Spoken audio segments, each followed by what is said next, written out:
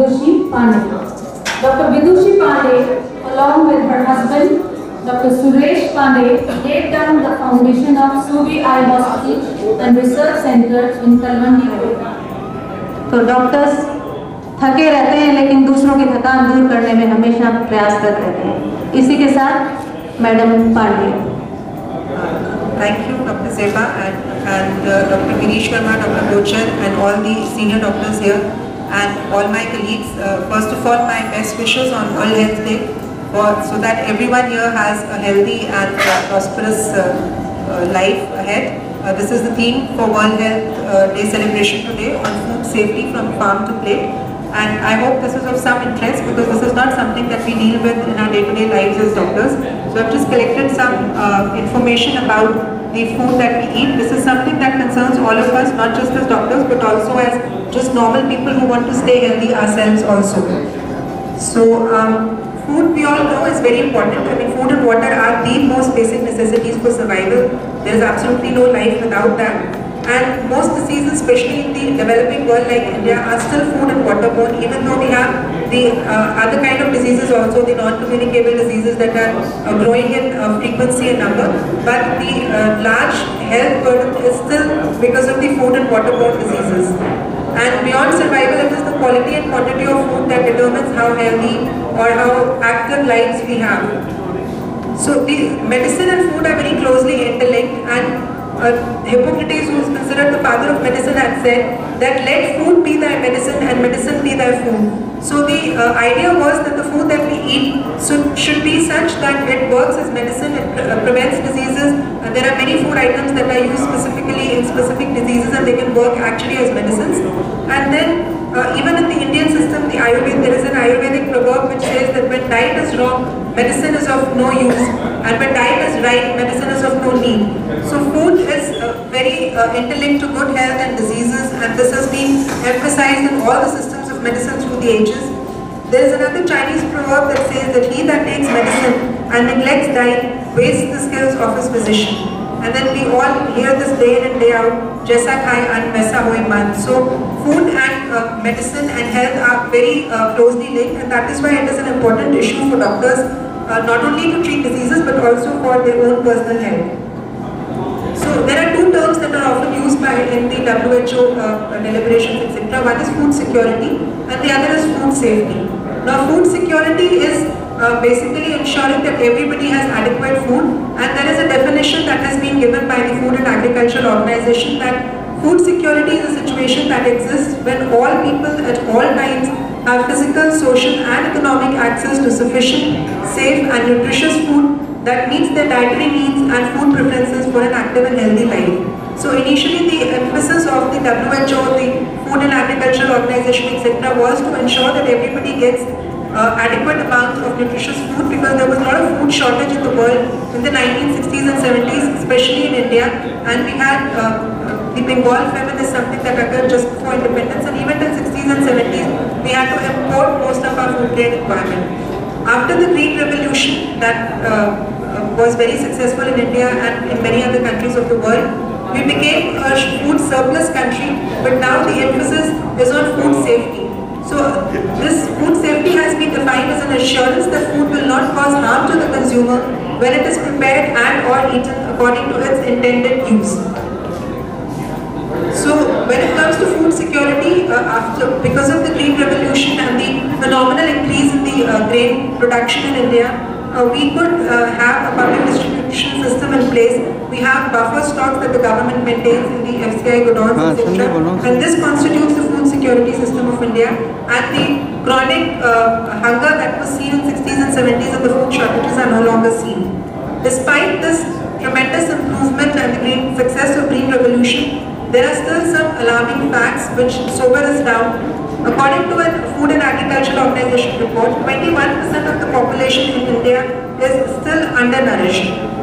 The, the rising prices of food grains affect the poorest of the poor more commonly because the poor households spend almost 60 to 70% of their income only on getting food and naturally when the food prices go up, they are the ones that are the hardest hit.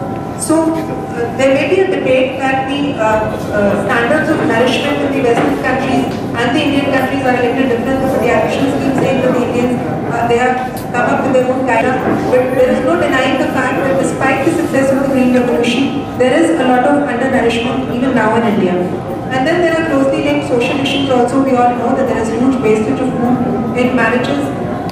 And in 1960s when India was a country facing acute uh, food shortage, there was something called the Executive Guest Control Order which was in place and the government uh, had put in uh, restrictions as to the number of guests who could invite for social functions, etc.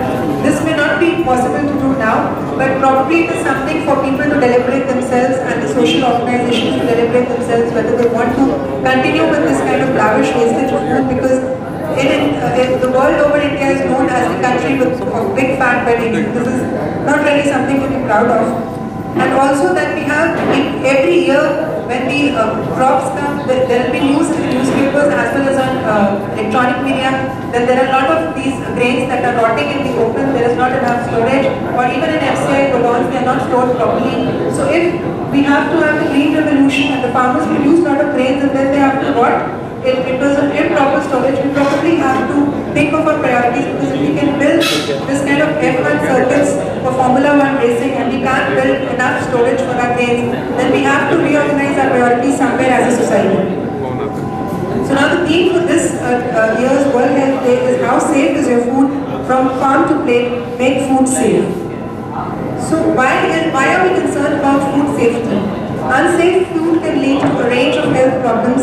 We all know that diarrheal diseases, viral diseases, etc. can be foodborne. Even the Ebola uh, disease that had caused so much havoc uh, in the world, it, uh, luckily it didn't come so much in India, was caused initially because it contaminated bush meat, that is meat that came from the wild animals.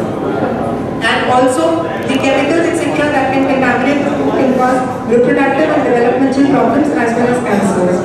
So these are some of the key facts that have been released by WHO that unsafe food containing harmful bacteria, viruses, parasites or chemical substances causes more than 200 kind of diseases ranging from diarrhea to cancer. And foodborne and waterborne diarrhea diseases even today kill an estimated 2 million people annually and in the Southeast Asia region 700,000 deaths occur every year because of diarrheal diseases and as we all know most of them are young children. This is something which uh, uh, everybody knows more than an ophthalmologist. These are the foodborne problems. But the more increasing problem now is because of chemical contamination of food. And this kind of food contamination and unsafe problems are increasing because of the the way, uh, the changes in the food chain, the agriculture has become much more intensive. There is a globalization of food trade. Uh, every food that is produced in one country is available all over the world. It may or may not be suited for the kind of climate that it goes to. This also increased the problems and there is more of mass catering and street food uh, which also causes more problems with food safety. So the WHO wants that this day, WHO Day in 2015 should become an opportunity to alert the governments, the manufacturers, retailers and the public about the importance of food safety because each of these has a role, the government, the producers the, and the public themselves and they should ensure that they uh, play their part in ensuring that the food that they eat is safe. This is a slide by WHO. These are the problems that they recognize that we have global foods in local markets, we have increasing street foods that are available, intense farming and adulteration that is taking place, global warming and novel methods of food processing that can all cause problems. So vigilance is required at every step uh, that the agricultural practices that we adopt are safe and are not uh, dependent on too much chemicals and pesticides. The waste management is good because if waste management, management is not good, it all goes into the water and the soil and that also contaminates our farms. The industrial effluents that are released into the water also go into the farms and the vehicle pollution and then at each step whether it is uh, vegetarian or non-vegetarian food, the processing and storage and cooking. So the aim of the campaign WHO Day this year is to ensure that the governments and the public are aware about the dangers and the ways that they can ensure uh, food safety and the consumers should ensure safety by being aware, they should check the labels, whatever food they're eating, there, there is more of a trend towards getting packaged foods. So we should be aware and check the labels, what food is actually there inside.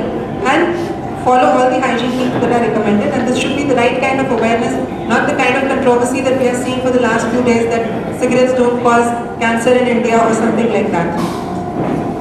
So how does the WHO ensure food safety? WHO has come up with what is called Codex Alimentarius. This is uh, a Latin word for book of food and this book gives all the guidelines about how much additives, preservatives, etc. are allowed per food and this is for the governments of each country to ensure that they stick to these standards.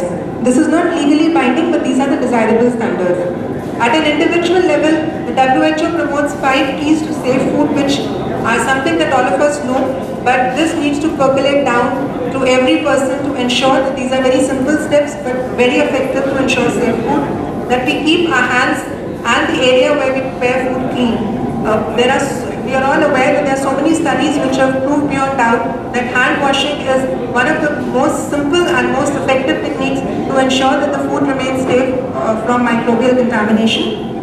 And there are uh, specific guidelines about uh, not allowing people who have cuts and bruises in their hands to handle food or if somebody is suffering from diarrheal diseases themselves then they should not handle food and all these practices are very simple and yet very effective.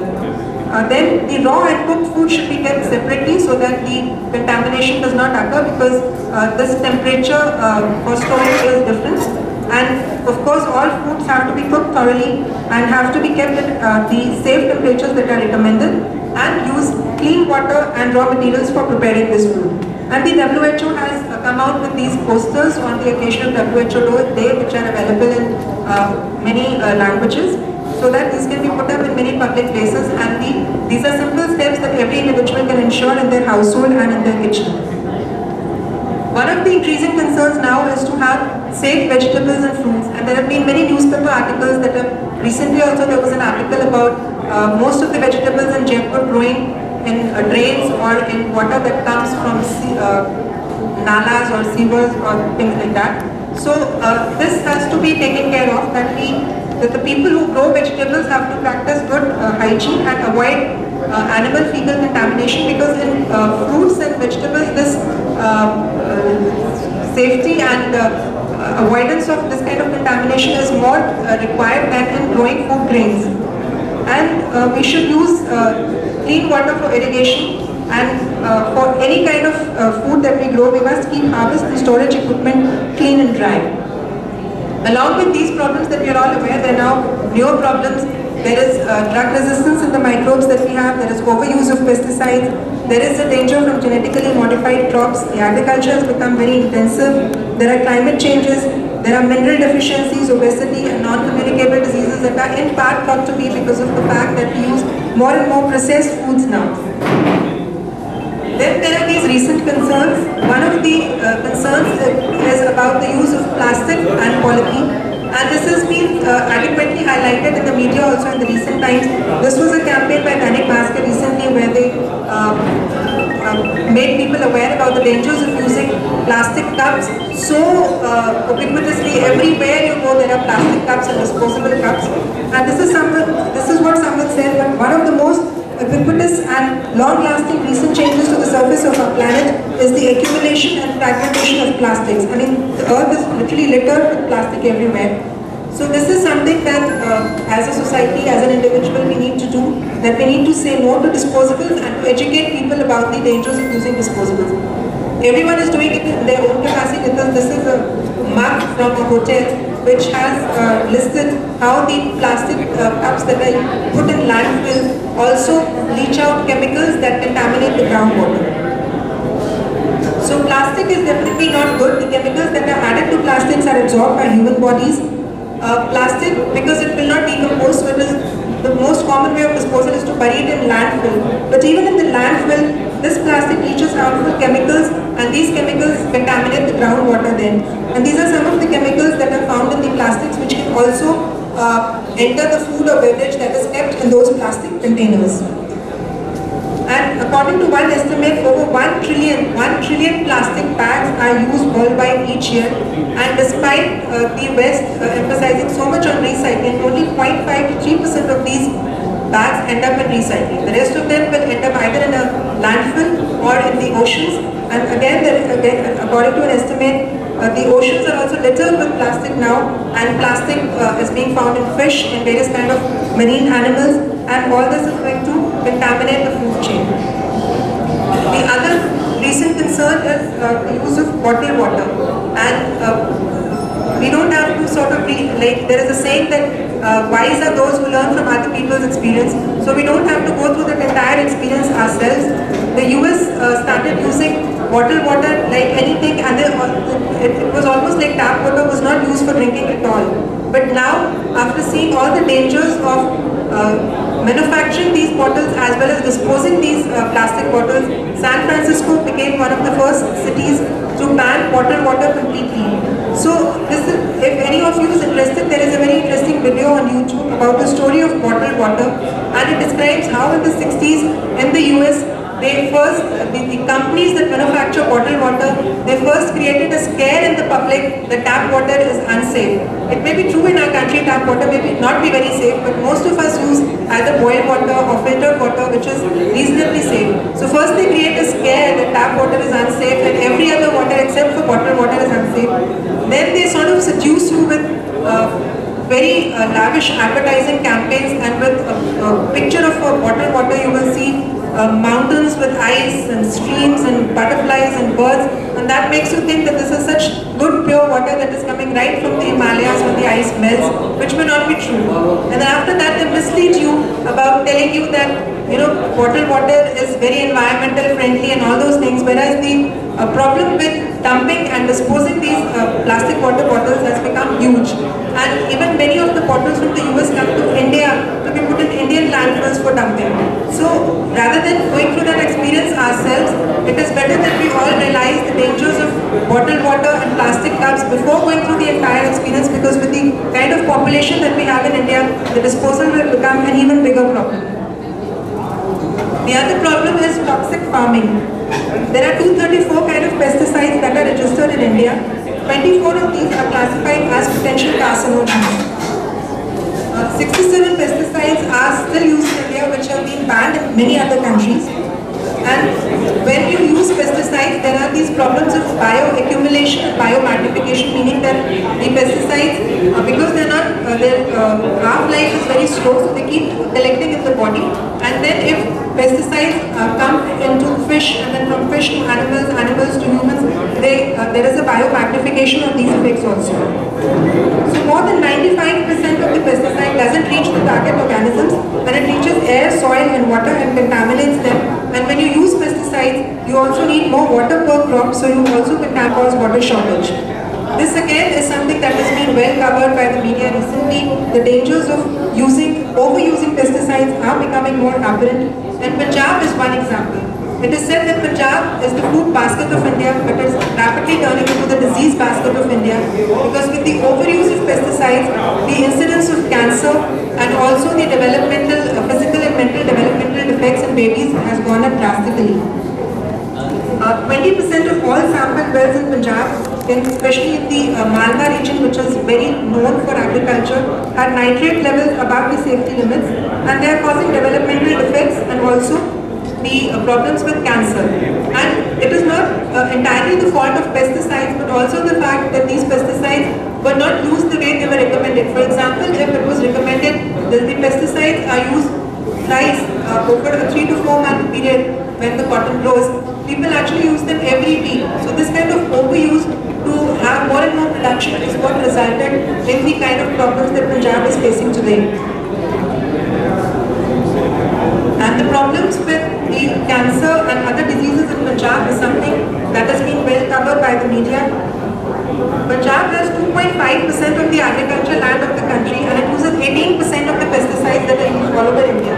And then there is something which we've all heard probably, there is uh, a train that goes from Bathinda to Bikaner which has been labeled as the cancer train because there are so many cancer patients in the Malwa region and the treatment of cancer being so expensive, they end up coming to uh, Acharya Tulsi Regional Cancer Hospital in Bikaner which is much less expensive and even offers free treatment to the poor. And 60% of the passengers on this train from Bathinda to Bikaner are actually cancer patients who are coming for treatment. So, uh, and this is more uh, common in the uh, Malwa region, that is Bathinda, Faridkot, etc., which is the area which grows two-thirds of the cotton in India, and because of overuse of pesticides and chemicals, the incidence of cancer is much higher than the national average. Then there are other chemicals also. Some chemicals may be naturally occurring, but uh, industrial processes, uh, the incineration of waste, etc. releases many chemicals. And the important thing to know is that reproductive and developmental problems, immune system and hormonal problems in cancer can be caused by all these chemicals that are going into the soil and the water. Heavy metals are also now becoming more and more uh, common in the uh, pollution uh, of soil and water. And another study was done in uh, a place called Baba Farid Center in Faridkot where uh, doctors are treating the children who are born with developmental defects. And they found, uh, they tested the hair and they found very high levels of the toxic metals in the hair of these children in Punjab. Then the other problem that we, not really a problem as of now, but something that we keep hearing about is genetically modified crops. And this genetically modified crops is a big debate now because initially uh, BT cotton was the only genetically modified crop that was introduced in India. Now the Monsanto company distributes the, or sells these uh, genetically modified seeds wants to introduce BT brinjal and other uh, crops and the government is uh, deciding whether to allow this introduction or not. Basically what are genetically modified crops? Because, the, because of the overuse of pesticides and all these problems, what they did was that there is a bacteria called Bacillus, whatever it is pronounced, and it produces a toxin that is that works like a pesticide. So rather than spraying pesticide from outside, you implant the gene for this particular toxin into the plant seed itself. So the plant will produce the toxin and there will be an internal pesticide. But there are worries that when you genetically modify the genomes of plants like this, you may produce resistant organisms, you may produce superweeds, uh, you may produce other organisms that will become difficult to control. These all have to be studied whether it is whether it will be true or not because definitely with the genetically modified seeds the yields go up, the production increases, but there are unforeseen dangers also. Like in the case of BT cotton, the production that was increased initially is not seen anymore now. So because of all this, there is a, a, lot of talk about organic farming, which uses only naturally uh, uh, uh, composed fertilizers and uh, pesticides and no chemicals, but it is much more expensive. The production is not as much as with the conventional farming. And then there is a debate that in a country like India, where so many people are hungry, you probably have to strike a balance between the organic farming and this kind of farming. So in the Indian scenario, you need to strike a balance. You also need to realize that the uh, standards of hygiene that the US or the European countries profess are not practically possible in our country, but that does not mean that we reduce our standards completely. We must strive for whatever hygienic standards we can maintain. And the most important thing is that even if we use these pesticides, chemicals, fertilizers, we use them only as recommended and do not overuse them. And then storage of food grain. Uh, we do not have adequate storage. Even in the uh, godowns, this is the godown in uh, Ghaziabad on the left, where the uh, FCI godown has stored wheat. How the grains are stored. So if we have to do this Swachhata Abhiyan in India, probably we have to start with the storage of grains so that at least our grains remain in clean and healthy surroundings and are not contaminated. Food adulteration is another common problem in India. There are many foods uh, which are more prone for being adulterated. This is the list that the government has come up with that milk products such as khoya, butter, ghee, milk-based sweets, pulses, mustard oil, groundnut oil, poultry and meat. These are the food items that are more prone to being adulterated because there are easily available adulterants that can be uh, put in these and the uh, financial gains go up for the producers and the distributors. This is a list of food that, that are found in these organisms, uh, in this food and the diseases that they may cause. So uh, these are the dangers that uh, we have in the food that we eat and uh, these are just some common uh, things that uh, for healthy eating that we must, anything that comes from plants is safe to eat and anything that was manufactured in a plant is somehow not so safe to eat unless we are sure of what is there inside that packet.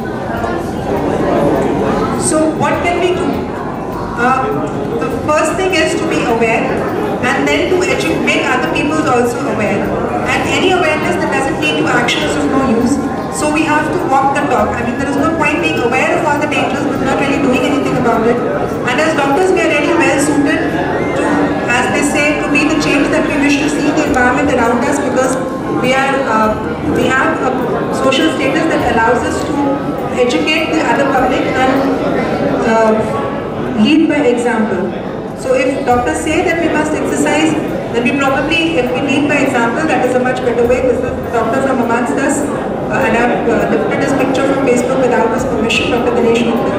Dr. Saket Goel has started a website, Heartwise, and he's constantly giving uh, advice about healthy eating and exercises and things like that. And these are some personal initiatives to try and use uh, bags instead of polythene bags, and to try and use this kind of uh, bottle bag rather than uh, using disposables everywhere. So that if we can walk the talk ourselves, that is how we can bring about the change and probably with more and more people following, we can make our food and our environment safe. Thank you.